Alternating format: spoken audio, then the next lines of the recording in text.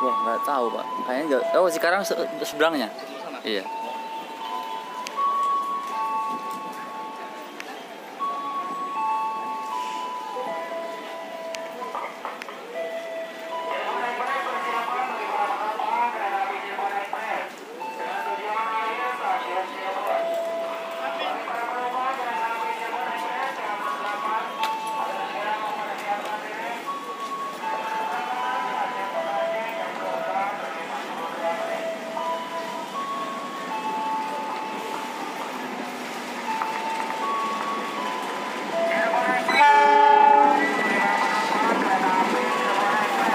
Jalur tersebut kereta api stasiun